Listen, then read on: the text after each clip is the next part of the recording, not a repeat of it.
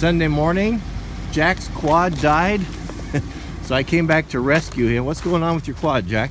Uh, well, I tried to go up this incline and it stalled up and now it won't start. It won't start. See if it'll start now. It's nice and wet now. So Jack, Jack tried to ride the dirt bike yesterday, but it was solid ice, and so uh, is the fuel on? Yeah, it is. I can see it. Give it another go.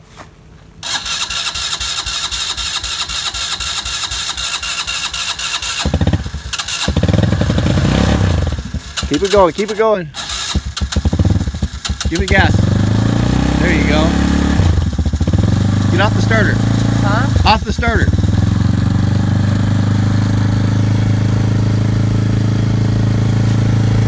Let it warm up for a couple minutes and then see if you can get out of there. Okay.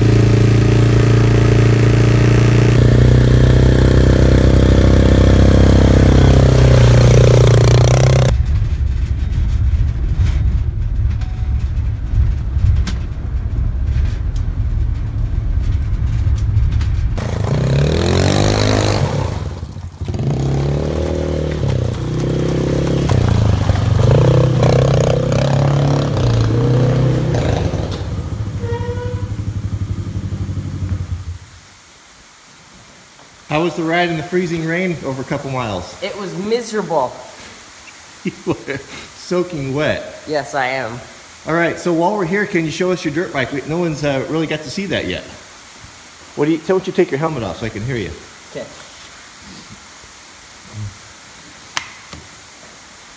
So this is the a Honda dirt bike that Papa got for Christmas from me. And me and Papa have just been running around with it. And it's how fast? It's 125. It's a 125F. It's got the bigger, the big wheels. It's got the tall wheels on it and the longer rear swing arm. It's a four-speed. It's pretty fun. I've only gotten up to well, I got up to third once, but then it didn't really do anything because I was going faster.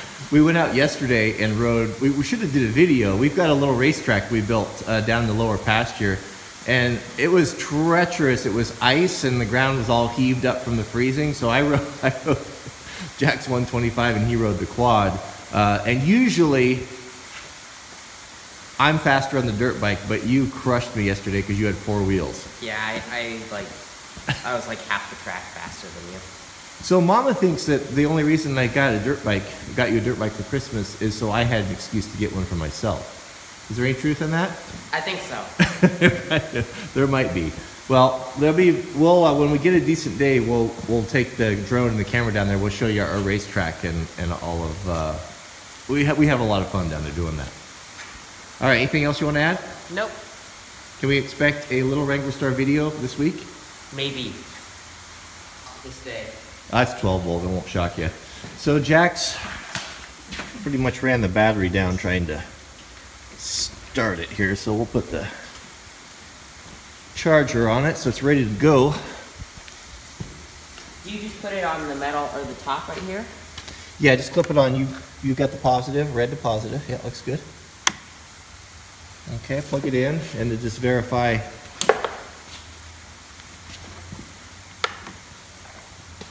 That didn't happen. Yeah, that's right. It happens sometimes. What would happen if only one was plugged in? On these, if you sink them a little deeper, get them down in there, then they'll they'll clamp better. You don't have to put it just on the nut. There we go.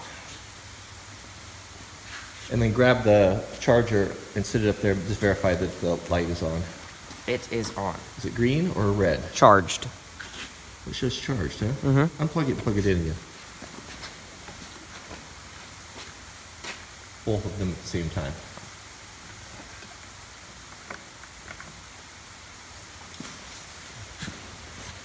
Okay, well, it'll just float on there and see. All right, looks good. Bit of a random video today, but I thought while we're out here, I'll show you. Uh, we're going to be doing some stuff on the adventure van very soon. Uh, the invert, got the inverter in. This is uh, Magnum Energy. They're actually built up in Washington. This is a really nice inverter. It's a it's an inverter charger. It's a 1500 continuous. I think it's pure sine wave. Uh, so that will supply power for the van, so you can charge all of your devices, Jack.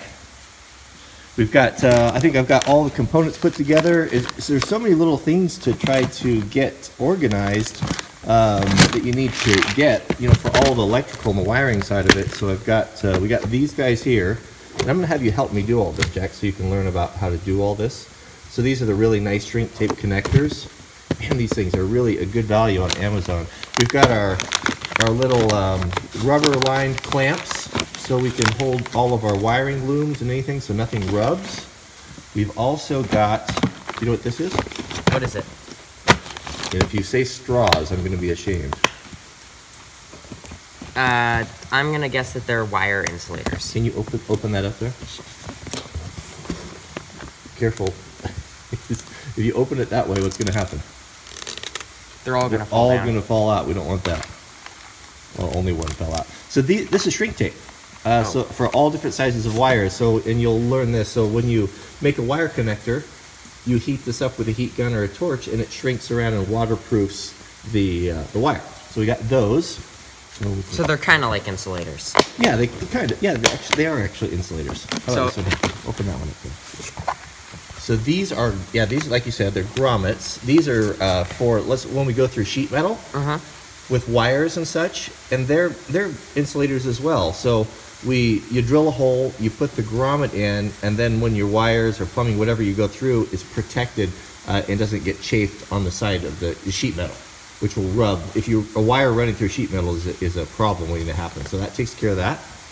And then we got uh, what's in there? Uh, those little clamps. And so we've got the see how they've got the rubber on them Mm-hmm. and they came with stainless steel fasteners. Really, really nice little kit there for off of Amazon. Those are stainless. But check this out, Jack. Can you tell me what this is? Uh, I have. Is it for the shelves? Yes. Look how it works. Is it the same as my grandparents, the ones that they have, so that they kind of fold out? I think it's very similar to that. So what this is, we have two of them, and they're stainless steel brackets. Hold them up sideways so you can, and show me how they work. So you just, I'm guessing you just push this down and then this folds Yeah, in. so it would mount like this on the wall. Hold it just like that. So you just press this and then pull this up. Right. So this would be the, uh, the, our little eating table, and that'll be just between our seats. So it will fold down by clicking that lever. It'll fold down, and the little table will lay flat against the wall, so it's not taking up any space. And then flip it up. When you want to use it, it snaps up. Isn't that clever? Yeah. Got two of those. Our neighbors came over to borrow our wood splitter, so we're gonna go get him hooked up. You me hand with that? Sure. Get your gloves on. Nope. We'll grab them. There it goes. So while we're out here, uh, several people have asked, how much firewood do you guys go through uh, in a winter? And the fact that we're home all the time, we burn, you know, a fair amount of firewood because we're keeping the fire goes 24 hours a day. It's always, it's always going. So uh, what we have here is this is the wood that we put up for this winter. And how much wood uh, per round do we have there, Jack? About two cords. 2.2 cord. So on the cordwood covers here, if you look, there's a little gauge on there that tells you if it's five feet high, which is what we have here, that equates to 2.2 cords. And if it's two feet high, you've got one cord there. So we've got, well, what do we have? Eight of these? Uh, seven or eight. Let's go see what we've used so far. So we start with the ones in the back. And this is, why don't you stand next to that, Jack, so we can get the scale. This is what we've burned this winter so far. I would say that that is, what would you say? It's two and a half? Maybe, because I'm five seven around there. Yeah, it's just under three feet. So how much, according to the thing, how much firewood have we used then? If it started out as 2.2, Um, let's just say two, two cords. So, Probably half of it. yeah. So we've probably burnt Maybe maybe 1.1, 1.2 cords so far this winter. So that's pretty amazing, isn't it? Yeah. We switched to recently switched to a uh, the Hearthstone. Was it Hearthstone soapstone? Soapstone, yeah. Soapstone stove, and we have cut our wood consumption by 50 percent. Maybe 75. A lot. We would have normally uh, burnt. Uh, tw- we would have had this burnt plus some with our old cast iron stove. Maybe we would have burnt like two of these. Or One for sure. Yeah. So that's it. So I think we're in pretty good shape for firewood this winter, wouldn't you say? Yeah. I don't think there's any any risk of uh, of us running out, Unless we have like a really bad spring. unless we have a really really bad spring.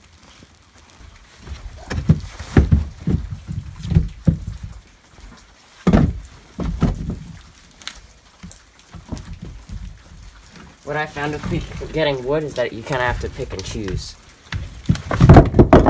Is it helpful to drop it on your toe? It was a very short distance, and I'm wearing boots. Here, let me give you a hand, Jack. I got I got a piece here too. Thank you.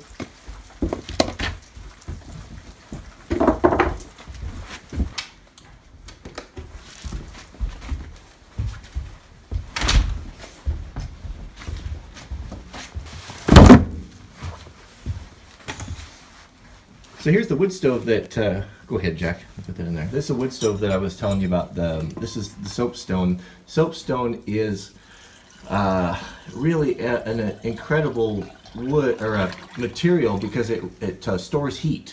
So if the stove or when the stove goes out, it will radiate heat for hours and hours, and it never gets so so hot that at any time you could touch it. I mean, it's gonna it'll hot. It would burn you, but it's not going to like your skin's gonna melt off when you touch it like a cast iron stove.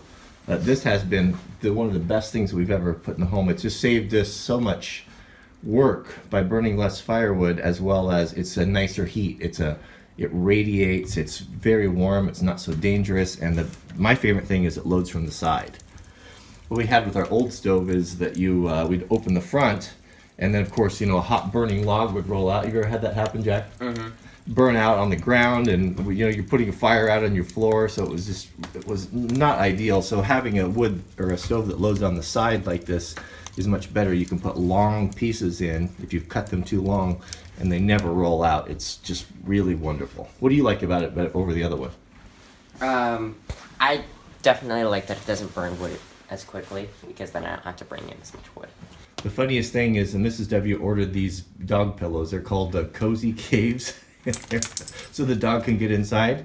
So what, when we originally ordered them, we ordered a great big one for Lucy, and we ordered a little tiny one for the Heart Racer.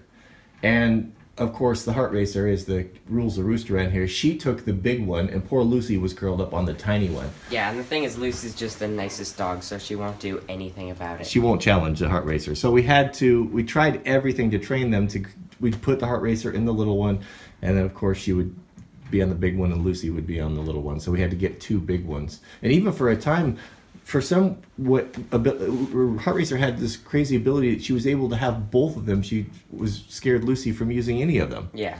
And now they're they're they have their own, but of course Heart Races is the one that's closest to the stove. But the cutest thing is the colder the day in the morning, the deeper she gets inside of that. Yeah. Sometimes I wonder where she's at. She comes up missing, and I open it up, and she's in the clear clear in the back. At the end of yesterday's video, I told you I wanted to share a personal story, kind of a struggle that I had that was very similar to the story I shared with you about my friend Jim and the and the laundry. And upon you know, I was thinking about that and how I wanted to say I didn't I don't want to get didn't want to get into all the details and and to violate um, our personal privacy. Um, and I don't know how to tell it without doing that. So, but I, I do want to touch upon this and, and cover this area, uh, cover this topic. And I think what it comes down to is relationships and the relationship between um, husband and wife and how we can fall into complacency with our roles. Remember in the story of Jim how he felt about uh, well this is I am the I'm the breadwinner and, and I'm doing these important things and I'm running this real estate business I can't be bothered with the, with the domestic uh, trivial tri- trivial domestic duties that these things fall upon my wife and you know, and rightfully so. I mean, if, you if you do have have a traditional home, well, we we have a tr- very traditional home that that uh, we don't share all the workload with everything. Um, I have my responsibilities, and Mrs. W has her things. One not being more important than the other, because without her support, without her working in the background, um, I wouldn't be able to do to do anything. Um, so we, I, I'm not saying this is right or this is the best way. I'm just saying that this is how we run our family. Now, with that being said, it's easy to get entrenched with these things, and it's easy to to maybe turn to turn a blind eye to the difficulties and the monotony and the struggles that um, that your wife may be having with these things. And so, what one thing you know, as the Holy Spirit spoke to Jim, and and that that, that was uh, something that um, uh, he responded to.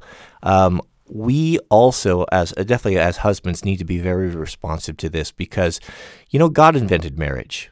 He likes marriage. He likes the relationship between a man and a woman and understands that it is the foundation of society. And it's also the closest education that we can get of a relationship between us and God is a relationship between two people who love one another. And so if he created marriage, um, he probably has a lot to say about it and could give us some very helpful advice, right? And we've all received that advice. And I guess the tricky part is are we responding to it? So, what what happened to me? How do I, how, I? I can't I can't get into all the details.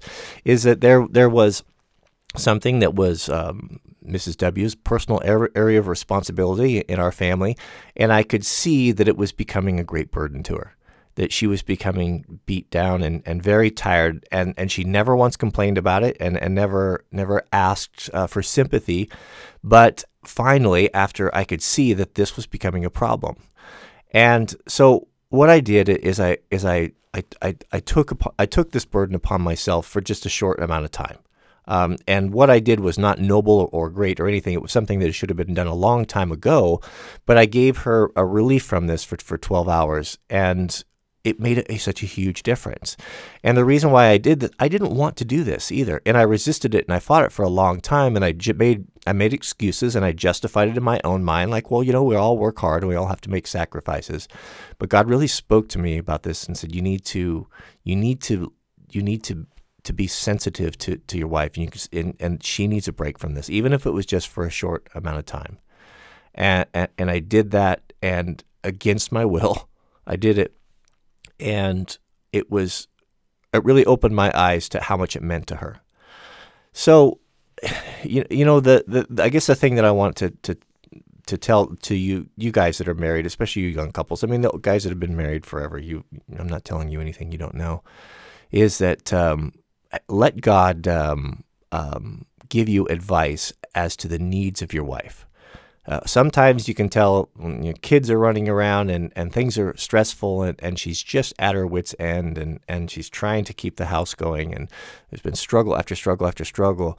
And they you, I, I've seen it in, in her eyes before. I, have seen it where the idea of making another meal and, and the kitchen and the dishes and everything that goes by that is just good about to push her to the, to the breaking point after all of the things that she had to do through the day. So be sensitive to these things, and if you can alleviate her her difficulties and alleviate her her um, struggles um, by just small acts, sometimes it's a good idea just to say, you know what, you're not cooking anything tonight. Jump in the car. We're gonna go. We're gonna go into town and, and we're gonna have pizza. Right? we're gonna get you out of here and and uh, or uh, or I'll I'll jump in and, and Jack and I will do the cooking and, and we'll do all the dishes. I want you to sit here. We're gonna make you a cup of tea and just sit on the couch and just enjoy yourself and just take a break. You know, and and the the funny thing about it is, you know, when you it is the more you do, the more you get back. You know, the what is the the good book says, cast your bread upon many waters. You know, it's for so many of us, if we think that, well, we, we, if we have something, we have to hoard it, or we're going to have less. But God works differently. He He shows us time and time again that it, those things, if we think that we can't live without, if you give them away, whether that be time or or money or or possessions or whatever, that uh, nine times out of 10 or 99 times out of 100, they come back to you tenfold, 50 fold, 100 fold. You just can't outgive God and you can't outdo it. And when you when you take that principle between the marriage, between a man and wife and husband and wife, by continuing giving of yourself, giving of your time, well, the other person will start to reciprocate that as well. And pretty soon you get to a point where it, where you you are having to be very clever to to be able to outdo the other, and and it builds love and it builds it builds respect and it builds a strong relationship, and it, it takes away all of so much resentment and that those miserly, petty selfish thoughts um, that come to us. The more we react and respond to the urging of God to to put our other other people first, um, the more it will become a habit, and the happier your life will be, the happier your relationships will be. And uh, try try it. Just test them and see, uh, and uh, I'll tell you that it will be it will be just as I say. All right. Well, that's all I had to say today. So uh, I've got a video. What's been the little video that I've been playing in the background here is one of my favorites, uh, and I'll put a link to that. It was the scariest thing I ever did. My good friend of mine uh, had a big tree to come down in the middle of a very tight, busy neighborhood, and it was my first attempt uh, at uh, topping a very large fir tree. it almost ended in my death, but um, but God is good and uh, preserved me to to continue to to, to go on another day, but I think you'll enjoy the video and I'll put a link right there. Click on the top left. So thanks for watching and we'll see you guys on the next video.